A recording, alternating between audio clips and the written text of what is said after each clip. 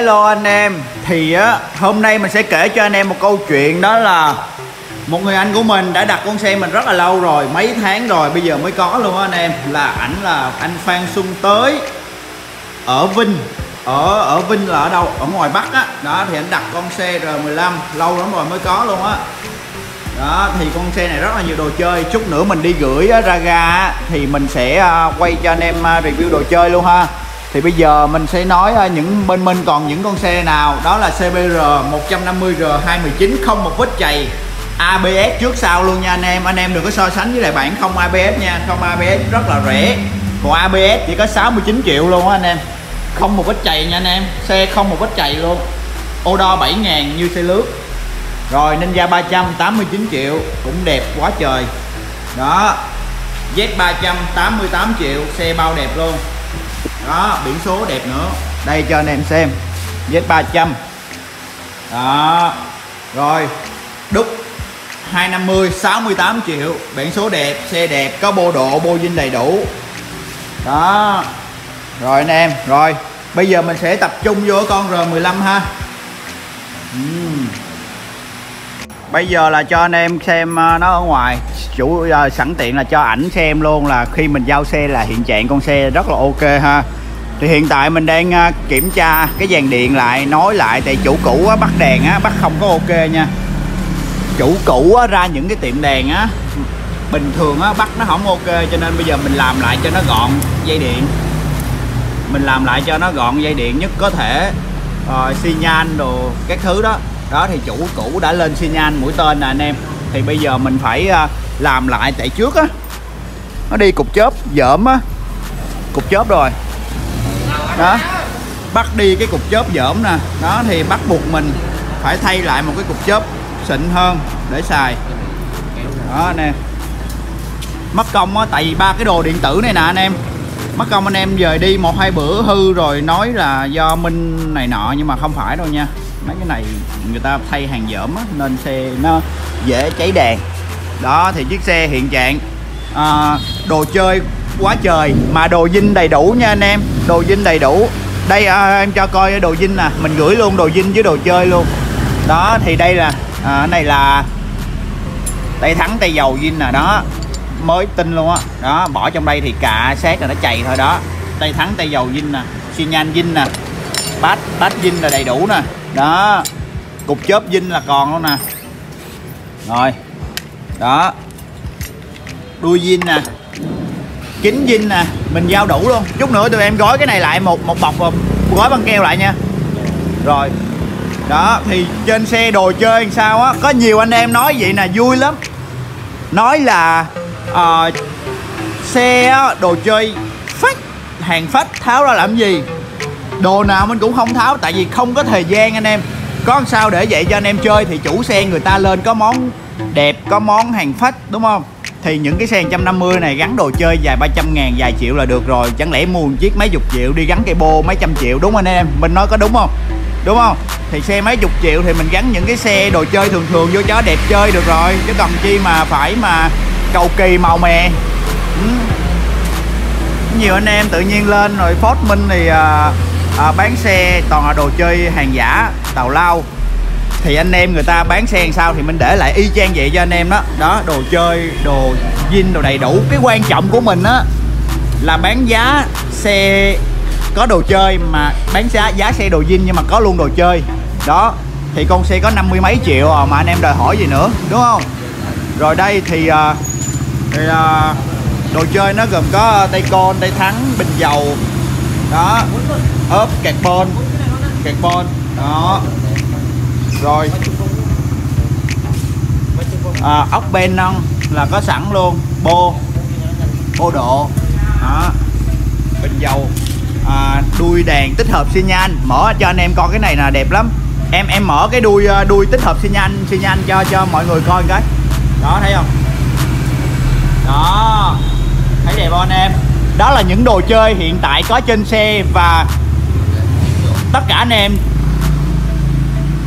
bán xe và bán luôn cho mấy anh em xài luôn á. Chứ nhà anh nghĩ coi chỗ này để ba cái đồ tháo lặt vặt ra để có chỗ đâu mà để. Đó. Rồi bát chân gương. Xi nhan mình câu lại dây đèn rồi cho mấy anh em cho nó đàng hoàng nè. Thường á anh em mấy cái này mình không có làm. Mấy cái đèn đuốc này mình không có làm chỉ trừ khi xe mà uh, của mình mua về thì mình mới làm lại cho nó gọn gàng chứ thực chất anh em ra tiệm á, anh em không coi người ta làm á, người ta câu tùm lum tà la hết. Như mình tháo ra nè, dàn điện tùm lum tà la hết, bây giờ là phải câu lại nè. Chứ mình không có nhận làm mấy cái này nha anh em. Chỉ có xe của mình mình mới làm lại cho nó gọn gàng thôi.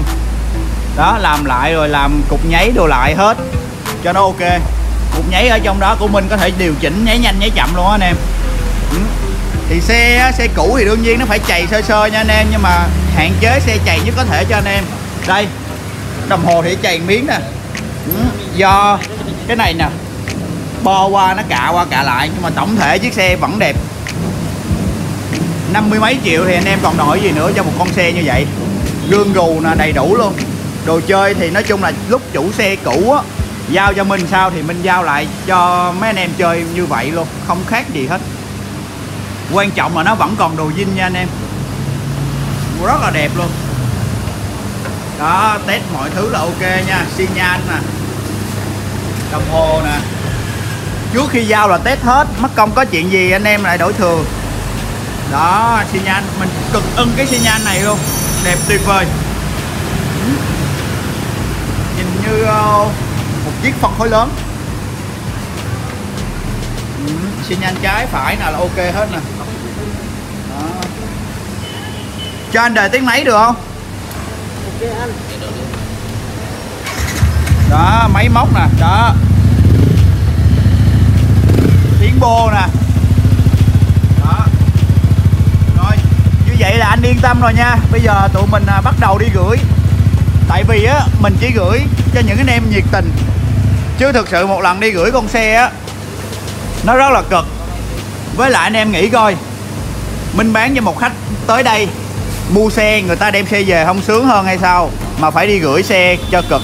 Đó cái này là gì tình cảm của mấy anh em dành cho Minh. Thì Minh dành lại như vậy. Và xe đặc biệt à, dặn anh em dặn luôn anh chủ xe là xe này. Minh đã thay nước mát mới nè. Đó anh em có thể nhìn ở đây. Nước mát mới 100% full. Nước mát mới nha. Loại xịn nhất. Nhớt đã thay mới. Toàn bộ nó là được thay mới toàn bộ. Về chỉ chạy thôi.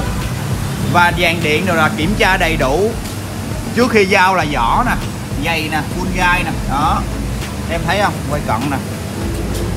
Đó. Xe có chống độ dưới luôn, ốc. Ốc này ốc cũng hàng thường thôi nha anh em. Phuộc nè. Đó, quay hết cho anh em xem. Yên nè, không hề không hề có dấu hiệu rách yên nha anh em. Đó, yên trước, yên sau. Xe nè. Nó chỉ xước do tay mình nó dắt ra dắt vô nó chỉ xước thôi. Đó. Vỏ nè gai nè full nè thấy không? Đó anh em. À, nhông sinh đĩa nè. Đó dày nè.